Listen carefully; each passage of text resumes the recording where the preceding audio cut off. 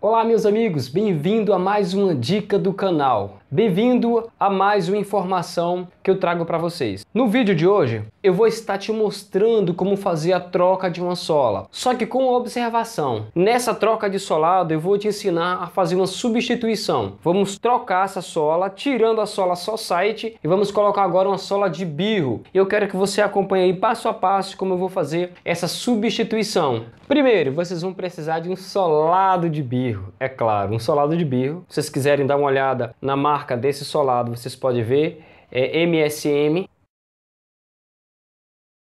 Além do solado, vocês vão precisar uma sovela para costurar sapato. É claro, vocês vão precisar também de cola. A cola pode ser cola de sapateiro, é cola forte, qualquer marca que você tiver. Se você encontrar com facilidade, compre essa marca Kisa Fixa. Se vocês não encontram dessa, vocês podem comprar a Amazona, você pode comprar a Fortique, qualquer cola de sapateiro é bacana. Eu uso essa e uso a Amazonas também, não faz diferença muito não, tá? E vocês vão precisar também de uma linha, a depender da cor da sua chuteira. Aqui é um solado preto com branco, eu posso usar tanto essa linha preta como essa linha branca. Mas eu vou usar essa linha preta porque vai ficar bem melhor. Pessoal, para facilitar, eu já troquei, eu já tirei essa sola aqui, tá? Deixei só ela, só meia pegada aqui para poder facilitar, ó. Então a primeira coisa que vocês vão fazer é remover essa sola. Claro que não vai ser tão fácil assim. Vocês vão ter que cortar a costura como eu cortei com a faca. Mas eu já adiantei aqui o lado, já tirei essa sola, ó. E agora com a minha sola nova, eu já lixei ela ela, já apliquei a cola. Vocês podem ver como é que faz esse serviço de lixar, aplicar cola, passo a passo. Vocês podem ver no outro vídeo que eu tenho, que vai aparecer aí agora o link. Pode clicar nesse link que está aparecendo aí, que vocês vão ver como é que faz o lixamento, tudo certinho. Mas por enquanto eu já vou adiantando para vocês. Lixou, aplicou a cola, esperou passar 40 minutos com a cola aplicada tanto aqui como aqui, tá? Então aqui eu já apliquei a cola, esperei passar 40 minutos, da mesma forma aqui. Aí agora vocês vão fazer mais ou menos isso aqui, ó. Primeiro eu vou colar o bico. É fundamental que você entenda isso. Ó. Primeiro você cola o bico. Nas partes mais onde, onde você aplicou a cola, ou melhor, na marca do outro solado, do solado antigo. Então você aplica cola no bico. Depois você vem aqui para o fundo do solado, tá? Então você faz essa colagem aqui e aí depois você vai, você vai fazendo aqui os ajustes no meio da chuteira, ajustando o solado conforme a marca da antiga, do antigo solado, tá? Onde tinha cola do antigo solado. Pronto, aqui eu já fiz essa colagem, vou dar uma prensada daqui a pouco para poder costurar. Lembrando que a chuteira já vem com a marca da costura, então sua costura vai ter que ser por aqui, ó, vai ter que ser por aqui. Por isso que é importante importante você usar a linha preta, já que o solado é preto, que aí disfarça bem melhor a costura, beleza? Aqui eu já coloquei esse pé, agora vamos colocar esse pé aqui, o pé direito. Primeiro, como sempre, cola o bico, assim como eu falei para vocês, cola o bico. De novo, eu vou ajustando aqui, ajustei até um pouquinho aqui no, na frente. Agora eu venho pro outro lado, dou outra ajustada aqui na marca da, da antiga cola, que era o antigo solado, ó ajusto certinho aqui o fundo, tá? Certinho, ó, e aí vou tentando chegar o máximo possível na marca da antiga colagem, tá? Ó, você tem que tentar o máximo que você puder. Você vem pro outro lado e já deu certo aqui, ó. Isso que vocês estão vendo, essa marca meio cinzenta aqui, isso foi a lixa que pegou e marcou assim ó, a lixa, porque isso aqui é couro. Mas não quer dizer que o solado vem aqui não, tá? Aqui é a marca certa, a gente colou exatamente no local. Vou dar só uma prensadinha aqui. É, pessoal, lembre-se uma coisa. Vocês precisam entender uma coisa. Quando vocês for comprar o solado que vocês querem, vocês precisam tirar um pé, um, um solado velho, você tira, ó, número 40, tá? Aí você tem que tirar e levar só o couro para você medir, porque nem sempre o mesmo número bate com uma chuteira. Às vezes esse aqui é 40, mas o solado diferente vai ser o número 41. Esse aqui deu certo, ó, 40 e 40 bateu certo, tudo bem, ok, mas nem sempre funciona.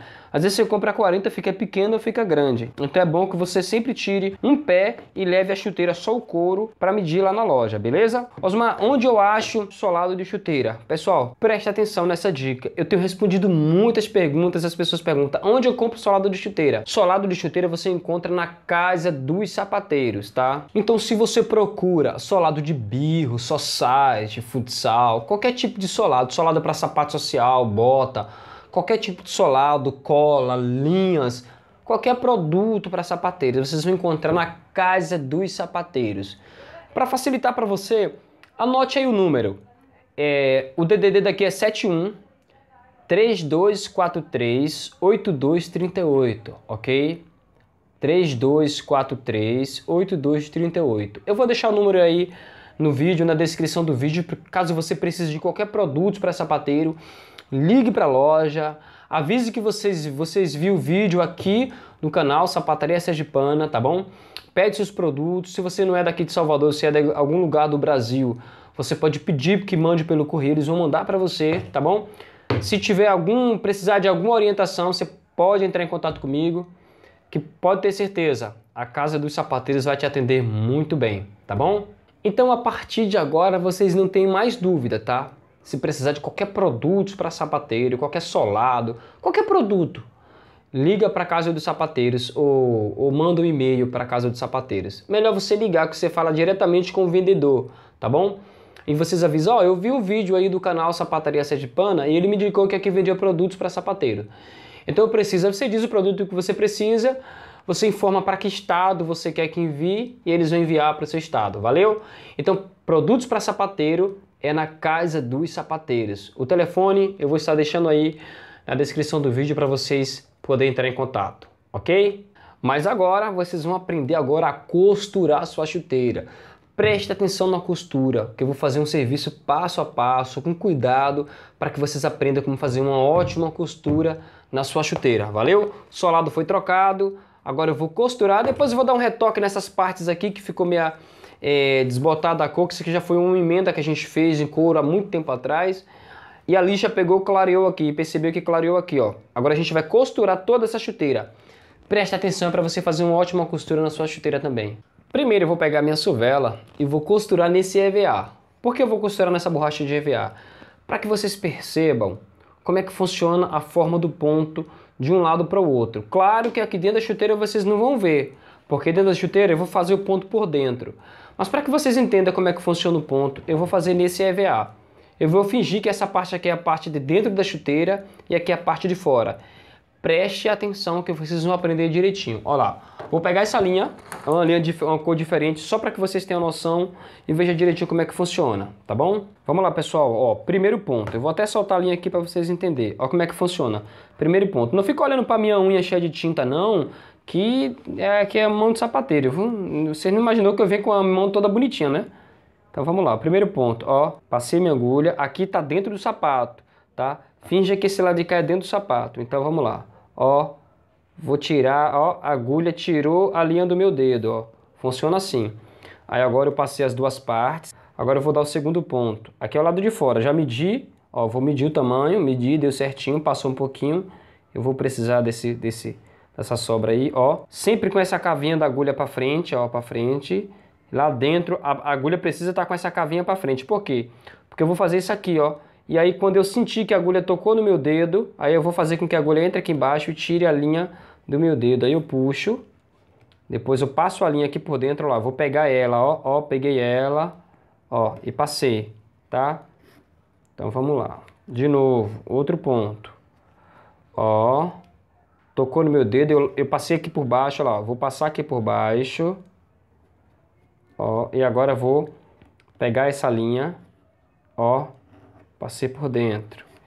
E já fiz o segundo ponto. Vamos para o terceiro ponto. Fiz isso aqui, ó.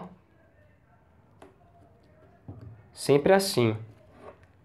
Você não vai ver como é que você vai dar o ponto por dentro. A agulha vai ter que tocar no seu dedo para você saber, ó. Assim que a agulha toca no dedo, você laça ela aqui por baixo e puxa a linha.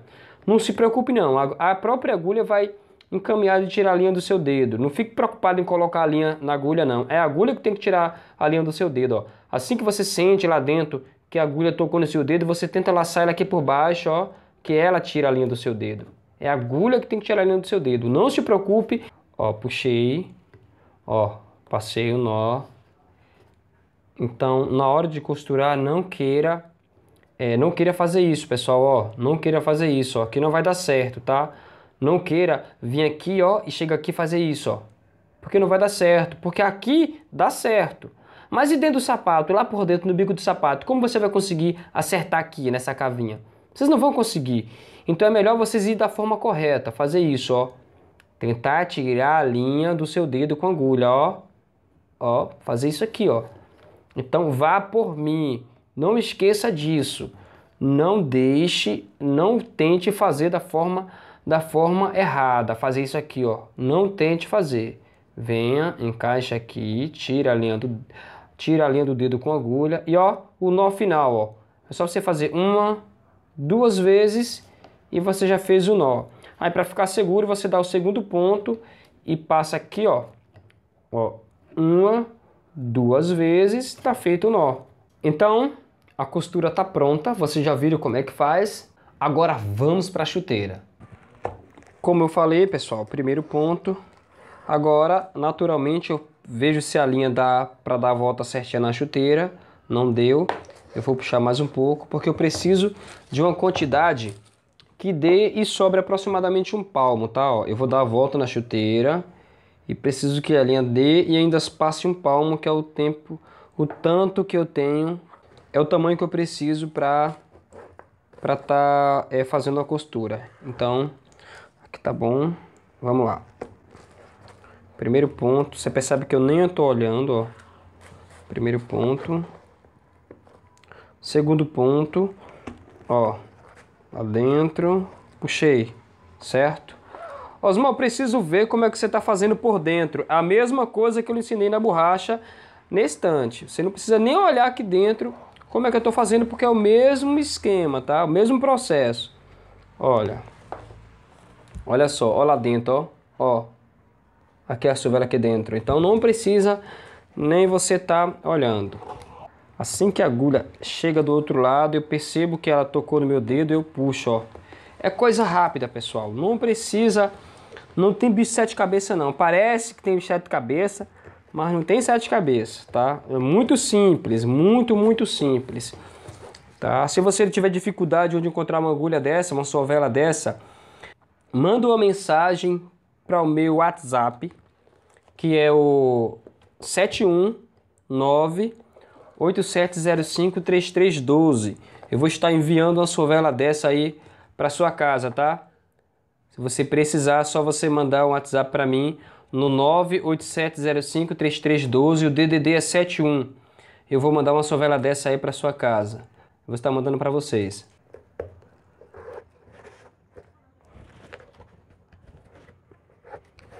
Já estamos próximo do final aqui da costura. É... Vocês estão vendo.